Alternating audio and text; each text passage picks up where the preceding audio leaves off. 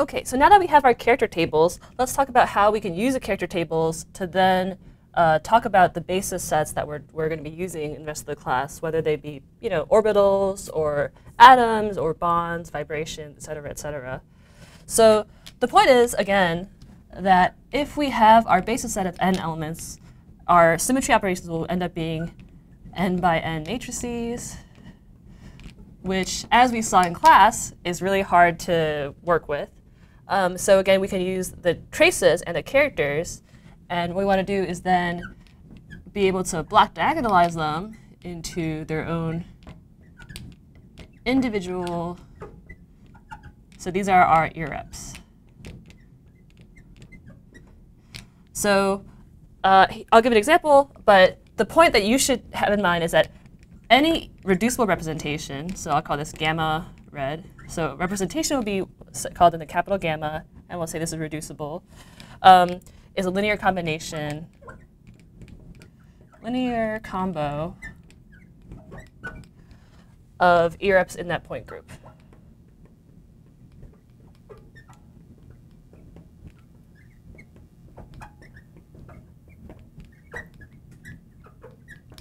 So each of these irreps uh, that make up the block diagonalized reducible representation we can find as a row in the character table for that point group. So let's give an example. Um, yes, here's an example. We did C3V in our last video. We knew that the reducible representation, aka the traces of the symmetry operations for the 3 by 3 matrices corresponding to x, y, z, so the basis, the, the three order 3 basis of x, y, z, um, this is going to be something, but what we, we found was that if we were to convey it in our C3V representation, so C3V has three classes, E2C3 and 3 sigma V. Our gamma XYZ, if you remember, was 3, 0, 1. And I'm going to redraw the character table here. So this was our representation. But from the character table, we knew that A1 is one irrep, A2 is another one, 1, 1, minus 1. So again, the 2 uh, in the subscript of this Mulliken symbol for A2 means that it's anti-symmetric with respect to the sigma v. Because it's plus 1 under C3, it's an A rather than a B. And then our last irrep was 2 minus 1, 0. And then this 2 means that it's an E symmetry irrep. And so what we were able to do was we were able to break this gamma xyz down into A1 plus E. And then as you can see, this is because when we block diagonalized it, we saw that the z's were z always transformed by itself, but x and y transform together. And therefore, when you add these two together, we see that 2 minus 1, 0 plus 1, 1, 1 equals 3, 0, 1. So it's a linear combination of the A1 and E irrep. So they must add up to the proper reducible representation that we have over here. Um, and I'll also point out that the order, it's the, the character under E for our gamma reducible is the order. So there's got to be the number of things in there. So we have three things, X, Y, and Z. And it's because E irrep has an order 2, and the A1 irrep has an order of 1. So altogether, we still have three things uh, there. OK, so we did this by inspection, which is we were able to kind of look at which irreps we have and find out which ones add up to gamma xyz. There is a more quantitative way to do that, and we'll kind of go through that here. But let me erase this right side.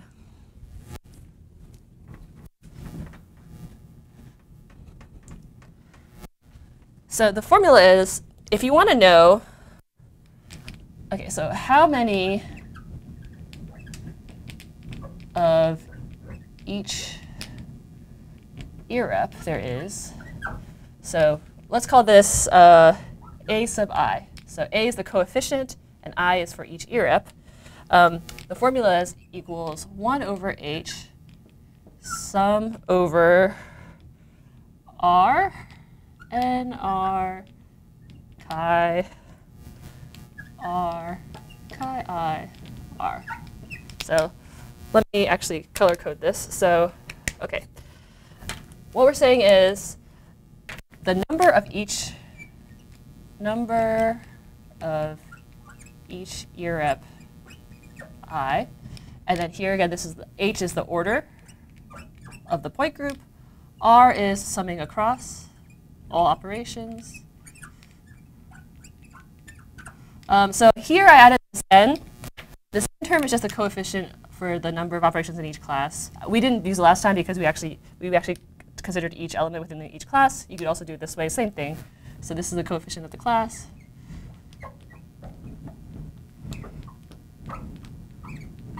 So for example, the coefficient of C3 is 2, the coefficient of sigma v is 3, because there's three uh, symmetry operations within that class.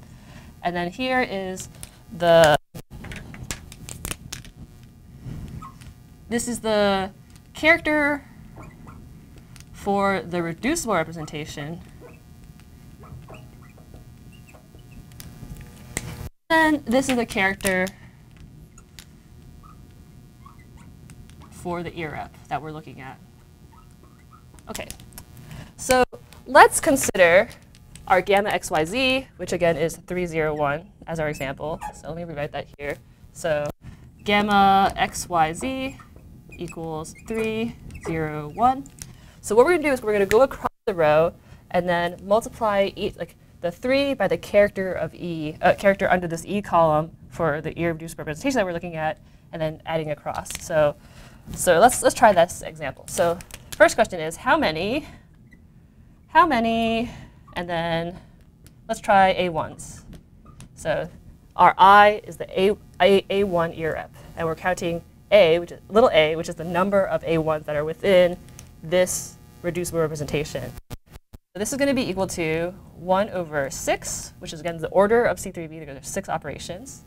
And then we're going to sum across. So this will be for the coefficient e is 1, so it's going to be 1, and then we're going to multiply that by 3, which is the character of e of the reducible representation. And then our last one is going to be the character under e of the a1 irreducible representation. And then we're going to add, let's see, plus, coefficient is 2 for the C3 class. The character under the reducible representation is 0 character under uh, 1 for C3 is 1. And then last one is the, the coefficient is 3 times 1 times 1. So as you can see, this is 3 plus 3 equals 6. So this equals, when you divide by 6, is 1. So what this means is we have 1a1 irreps within this reduced representation. So we're saying gamma xyz equals a1 plus something else. We can do the same thing for a2, which is 1 over times 1 times 3 times 1 plus 2 times 0 times 1 plus 3 times uh, 1. And in this case, the character under sigma v for the a2 is times negative 1. So overall, this is 0. So what this means is that a2 is not a component in the reduced representation of gamma xyz. And our last one is how many e's. So we do 1 over 6. And again, this is 1 times 3. In this case, it's times 2. And then plus 2 times 0 times minus 1, oops, parentheses, plus 3 times 1 times 0.